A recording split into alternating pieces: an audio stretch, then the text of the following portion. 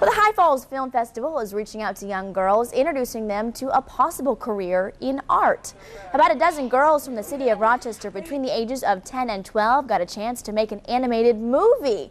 The two-week workshop led by Animatus Studios took the girls through the process of planning a storyline, imagining and creating characters, and assembling the parts into a short film. Now that film will be uh, seen at the High Falls Film Festival at the Little Theater next Saturday. Congratulations to them them.